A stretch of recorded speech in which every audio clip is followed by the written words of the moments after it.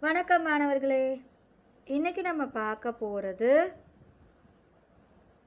நான்காம் வகுப்பு பாடத்திட்டத்தில் இருக்கக்கூடிய சுத்தம் கல்வி தரும் அப்படிங்கிற ஒரு கதை. உங்கள் எல்லாருக்கும் கதை நான் ரொம்ப பிடிக்கும்ல? பார்க்கலாமா? சரி. அசோக் அப்படின்னு ஒரு பையன் இருந்தான். அந்த பையன் என்ன பண்ணான்னா அவன் ஐந்தாம் வகுப்பு படிச்சுட்டு இருந்தான். அந்த வகுப்போட அதாவது கிளாஸ் லீடர் அவன் தான் ஆசிரியர் என்ன சொல்லிட்டு போனார் அப்படின்னா மாணவர்கள் எல்லாரும் கண்டிப்பாக பிரார்த்தனை கூடத்துக்கு வரணும்.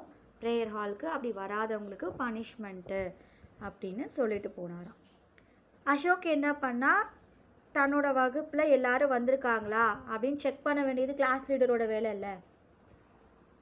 ஸோ அவன் என்ன பண்ணானா செக் பண்ணானா அதில் முரளி அப்படின்ற ஒரு பையன் வரலை.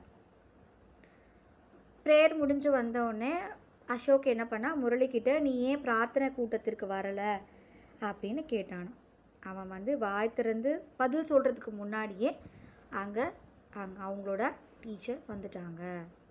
மேம் வந்துட்டாங்க. சார் வந்துட்டாங்க. சரியா? அப்புறம் என்ன நடந்ததுன்னு பார்க்கலாமா? அசோக் கிட்ட கேட்குறாரு ஆசிரியர். நீ ஏன் இன்னைக்கு பிரார்த்தனை கூட்டத்துக்கு வரலை? அப்படின்னு.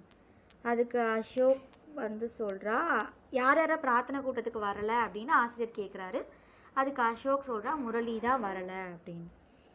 உடனே முரளியை கூப்பிட்டு முரளி அசோக் சொன்னது உண்மையான்னு கேட்குறாரு முரளியும் ஆமாம் நான் வரலை அப்படின்னு உண்மையை சொல்லிடுறான். ஏன்னா அவன் ரொம்ப நல்ல பையன். நல்லா படிப்பான். ஃபர்ஸ்ட் ரேங்க் எடுப்பான். Is a very very very good boy ஆனால் அதனால் பசங்களுக்கெலாம் அவனை பிடிக்காது.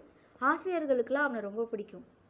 பசங்களுக்கு ஏன் பிடிக்காதுன்னா எல்லா டீச்சர்ஸும் வந்து அவனையே வந்து எல்லாம் சொல்கிறாங்க சம்டைம்ஸ் சில குழந்தைங்களுக்கு அந்த அந்த ஒரு ஃபீல் வரும். அது அப்படி கிடையாது.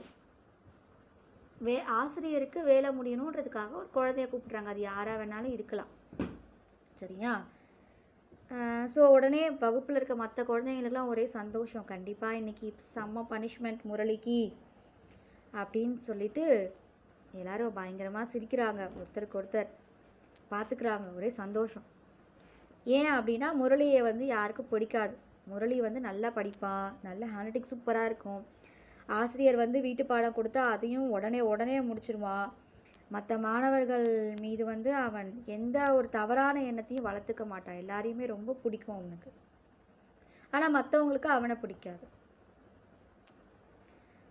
ஸோ உடனே ஆசிரியர் சொல்கிறாரு முரளி யார் தப்பு பண்ணாலும் தப்பு தப்பு தான்ப்பா அதனால் நீ ஏன் வரலை அப்படின்னு கேட்குறாரு அதுக்கு காரணம் சொல்கிறான் என்ன காரணம் சொல்கிறான் பாருங்க.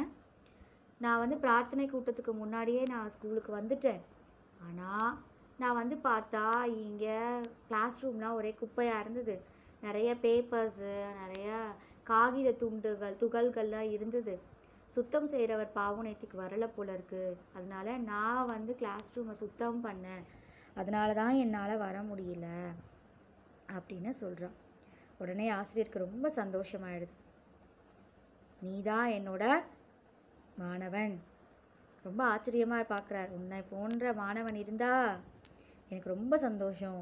சுத்தம் தான் கல்வி தரும். அப்படிங்கிறத நிரூபிச்சிட்ட. நன்றி. அப்படின்னு ஆசிரியர் முரளிக்கு நன்றி சொல்கிறார் ஸோ இந்த குவாரண்டைனை நம்ம கற்றுக்கிட்டது அதுதான். அப்பப்போ போய் கை கழுவுறது அப்பப்போ போய் கால் கழுவுறது எப்பவுமே சுத்தமாக இருக்கலாம். வீடு மட்டும் இல்லை. எல்லா எல்லா இடத்தையுமே சுத்தமாக வச்சுக்கணும்.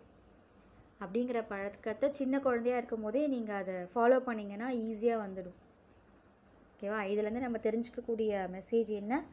எல்லா இடத்தையுமே சுத்தமாக வச்சுக்கணும். அது மட்டும் இல்லை. நல்லா படிக்கணும். நல்லா எழுதணும். நீங்களாம் சின்ன பிள்ளைங்க. படி இந்த வயசு தான் படிக்க முடியும். ஓகேவா நன்றிம்மா.